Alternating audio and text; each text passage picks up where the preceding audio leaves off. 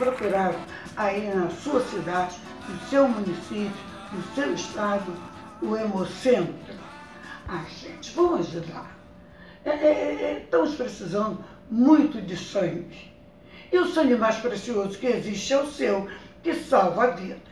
Se você tem mais de 18 anos, mais de 50 quilos, nenhuma doença pré-existente, você pode fazer esse carinhozinho assim, assim. E eu sei que vocês vão fazer. Vocês são maravilhosos.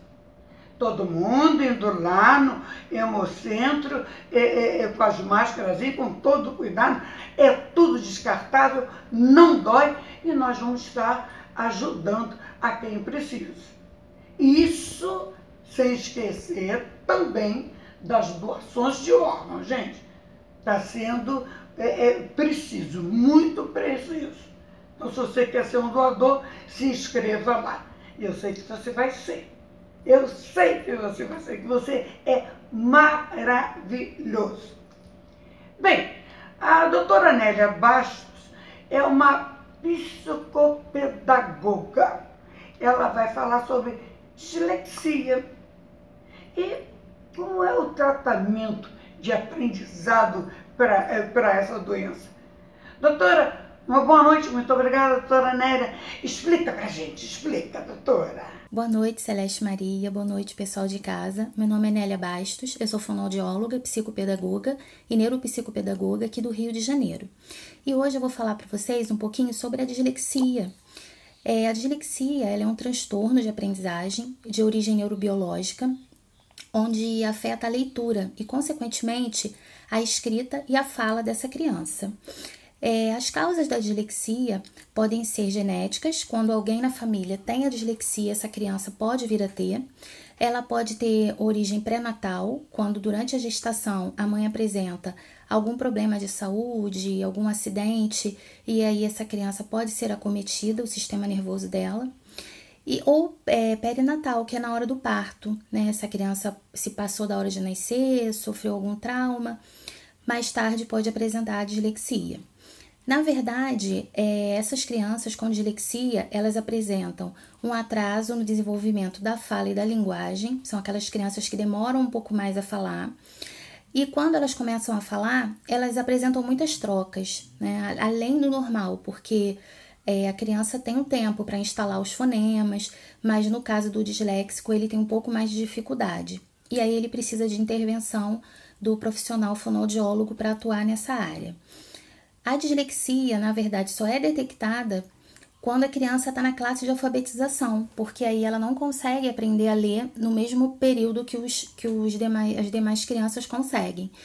E aí o profissional é mais capacitado para estar tá avaliando essa criança é o psicopedagogo, que ele vai entrar com testes específicos da área da aprendizagem para ver se essa criança apresenta a idade mental igual à idade cronológica e ele vai elaborar estratégias para que essa criança consiga aprender a ler, trabalhando cada fonema até conseguir juntar e formar palavras e mais tarde formar as palavras formarem um texto.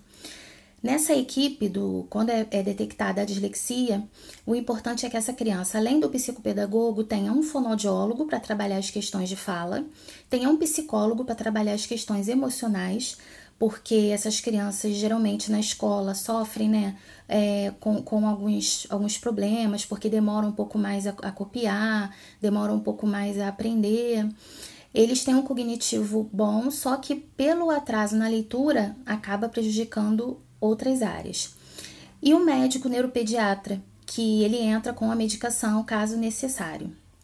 É, quando a criança é laudada com dislexia, ela tem alguns direitos. Ela tem direito a ter um ledor para poder ler as provas para ela, porque muitas vezes ele sabe o conteúdo, eles geralmente são muito inteligentes, mas como ele não consegue ler, automaticamente ele é prejudicado na hora de realizar a prova.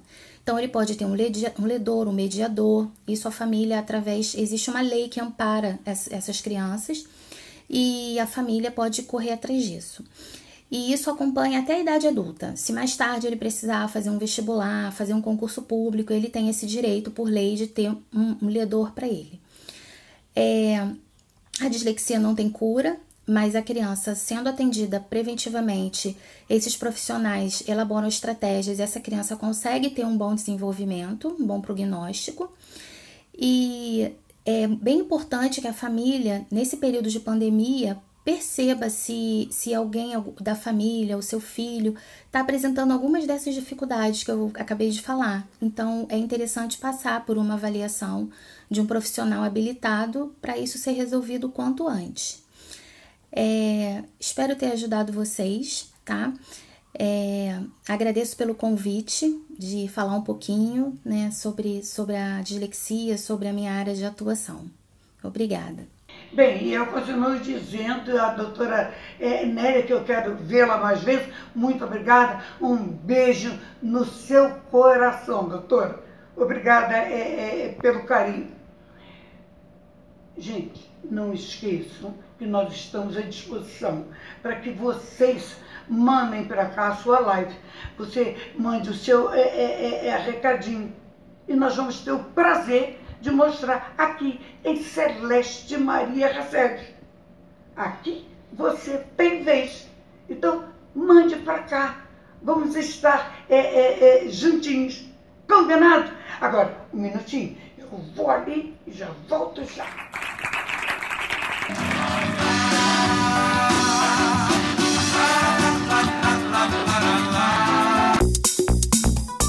Nova DFL há 75 anos desenvolvendo soluções odontológicas de excelência e qualidade. Presente em mais de 60 países. A nova DFL conta com importantes certificados de qualidades que habilitam a comercializar seus produtos nos mercados mais competitivos do mundo. Por isso, Exija do seu dentista produtos da nova DFL.